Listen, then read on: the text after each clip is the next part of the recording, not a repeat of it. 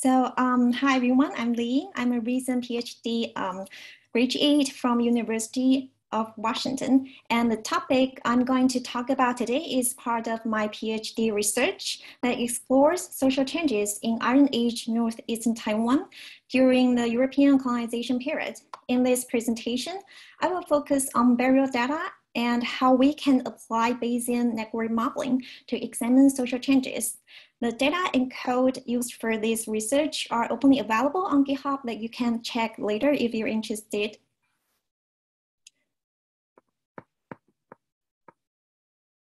So um, let's go to next slides. So before getting started, um, I just want to take a few minutes to talk about a plan to establish an East and Southeast Asia chapter for CAA. So um, in recent years, I um, found there is an increasing number of CAA members working on East Asia and Southeast Asia, which made me started to think about the possibility of having a new chapter.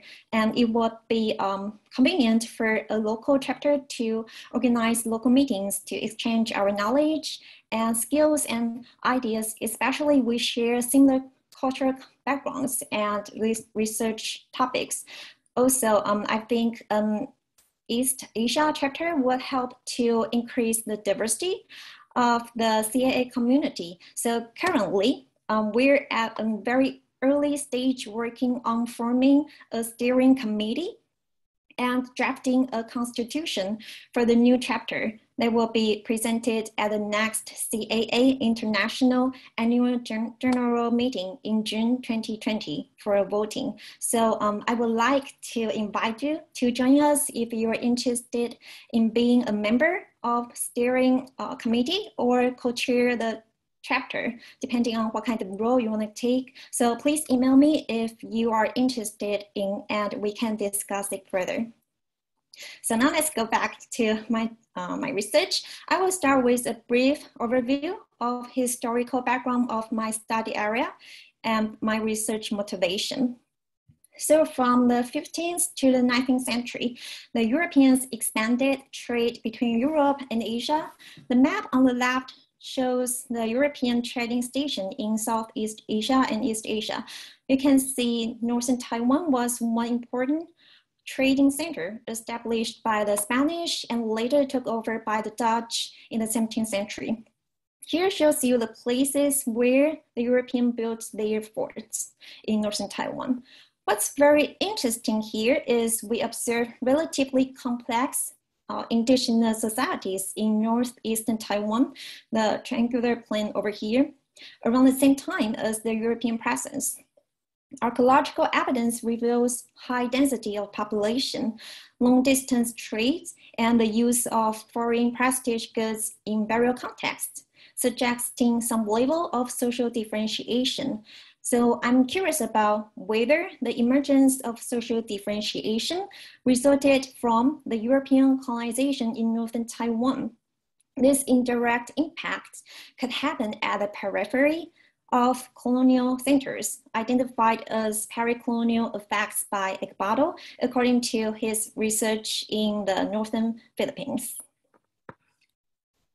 So my research, my main research question is, did the involvement in long distance trade network lead to social changes in northeastern Taiwan in a peri-colonial context?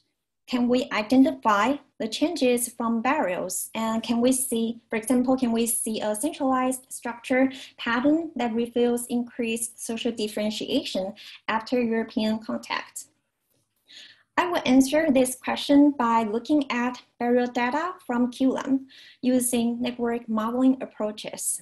So now I'm just um, briefly uh, introduce Kiwulan. Kiwulan is located at the northern part of Yilan Plain there are 90 burials in total recovered um, that can be divided into three major temporal phases, the pre-European, post-European, and Chinese period. In the burials, imported items such as porcelain and stoneware and the different kind of uh, beads were used as burial goods. According to historical records, trade items were also uh, treated as prestige good in local indigenous culture. Here we use burial as a proxy to examine social relations and underlying structure through the similarities between burials based on the theory that burial with the same uh, prestige goods tend to have the same status. To construct network based on similarities, we treat each burial as a node connected to other nodes when they share the same foreign trade items.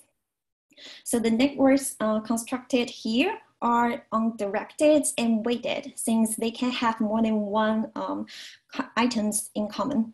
So here you can see the network visualization for both uh, pre and post European burial networks.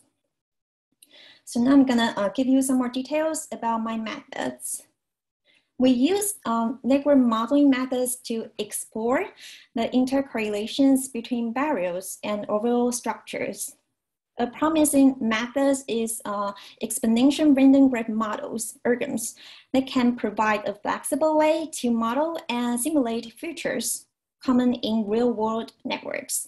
For example, homophily. So that means um, nodes with the same attributes tend to form a relationship. So if we, um, if we, if we think of friendships, it would be um, people with the same hobbies tend to be friends.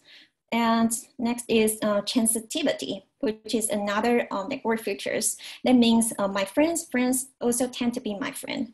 And centralization, that means an individual who has more relations compared to others and is also called popularity in a ERGM's term. So there are many more features that we can include based on our uh, anthropological hypothesis. ERGMs allows direct modeling for the formation of edges between nodes. However, there are some limitations. For example, ERGMs cannot handle uncertainty very well and also uh, cannot handle missing data. So we attempt to resolve these issues by using a novel method, Bayesian inference on ERGMs.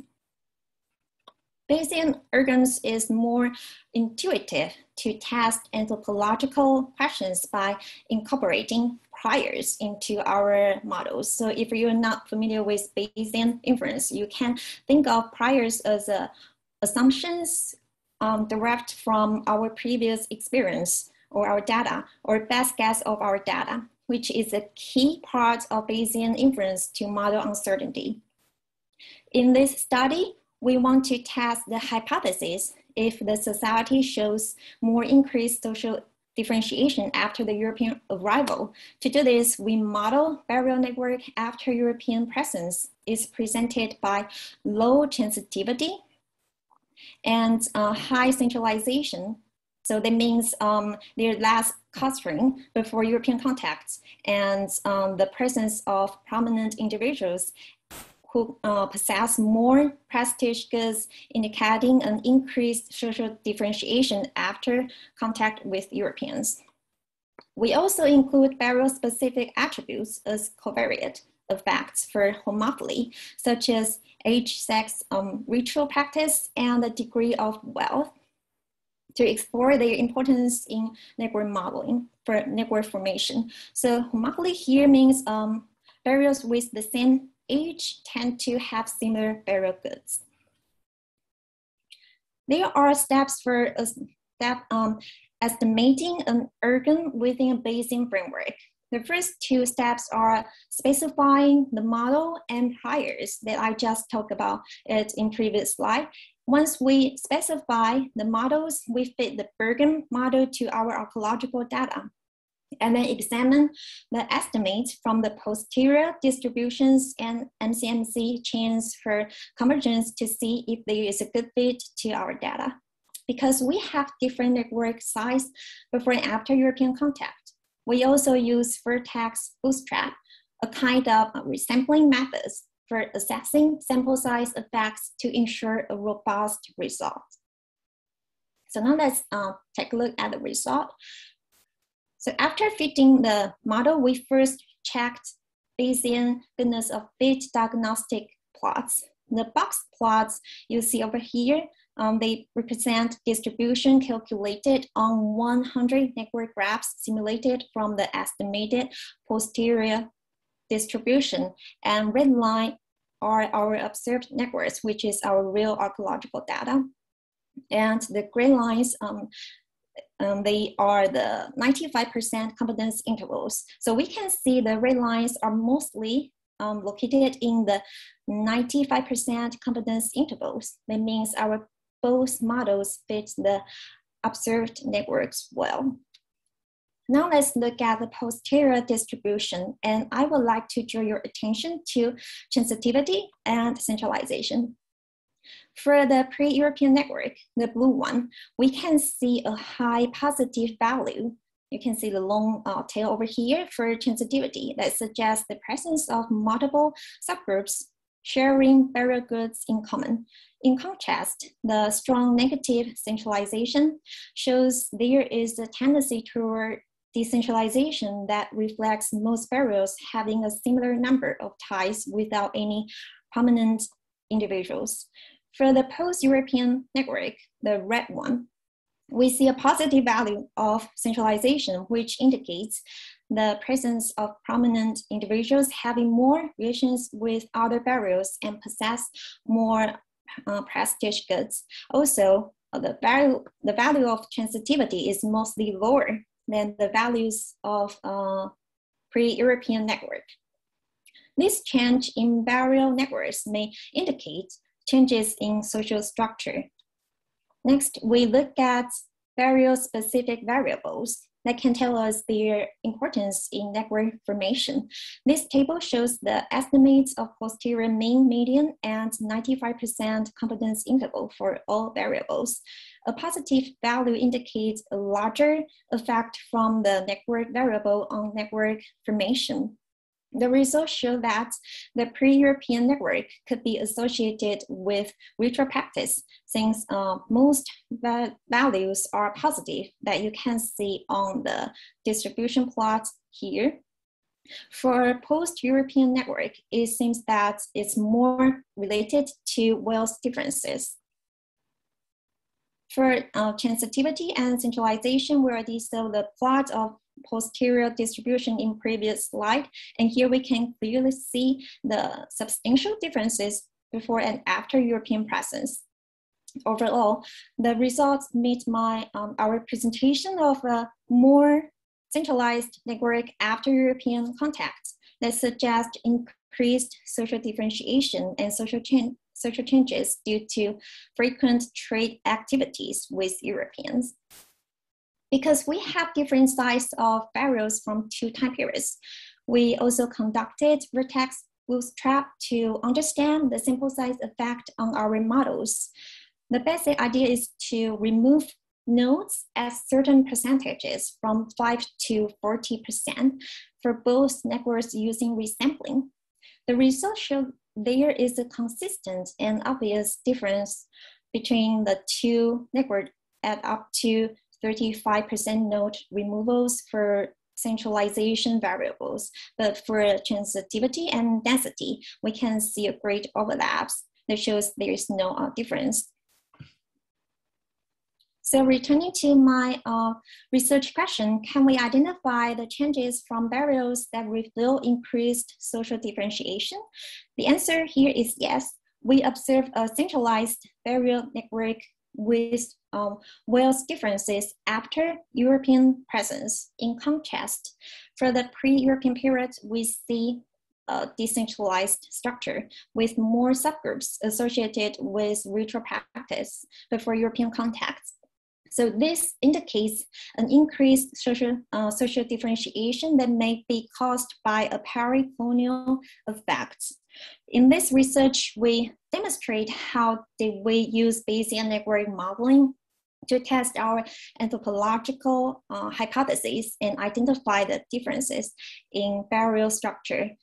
So um, to promote research reproduci reproducibility, all the data and code are available online um, on our uh, repository you can check here. And if you want to know more about the details of these methods, you can check our paper just published last month on Journal of Archaeological Science. And uh, I also have a preprint on SocArXiv that you can check. So finally, I want to thank those researchers, institutions, and funding agencies that helped me a lot during my PhD. And that's all for my presentation. Thank you all for your attention.